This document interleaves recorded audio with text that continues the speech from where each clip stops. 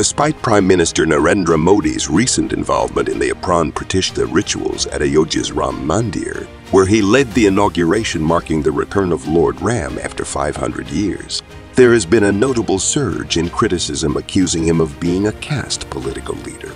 The unveiling of the sculpted Ram Lalla crafted by Mysuru-based artist Arun Yogiraj was intended to be a momentous occasion yet it has not been devoid of controversy. While Modi's leadership style is often celebrated for transcending caste-based politics and emphasizing a broader, inclusive vision for the nation, the Apran Pratishtha ceremony has brought forth a wave of dissent.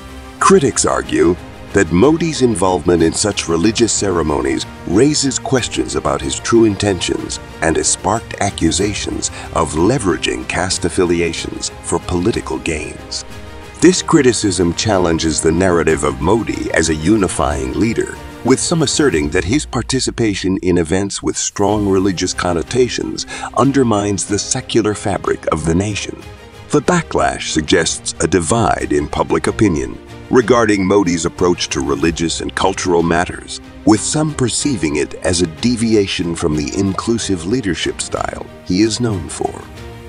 As the discourse surrounding Modi's role in the Apran Pratishtha's rituals unfolds, it remains to be seen how the Prime Minister will navigate these criticisms and continue to shape his image as a leader committed to national unity. The complexities arising from such events highlight the challenges of balancing diverse cultural and religious sentiments in a country as richly diverse as India.